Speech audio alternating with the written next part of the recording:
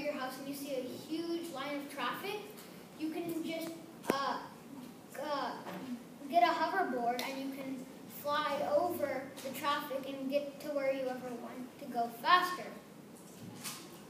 You also can do stunts as well as race with your friends.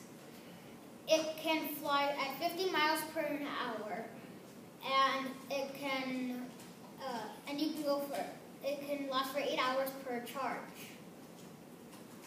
You can control it by leaning whichever way you want it to go, and uh, it, it cost us $267 and 13 cents to make it. We'll sell it for $600 and 96 cents.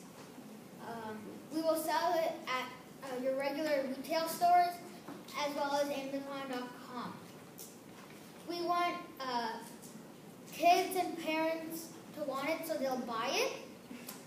And our market plan is to advert, uh, market it on uh, magazines and on TV commercials. This is a, a picture model of our product. Good.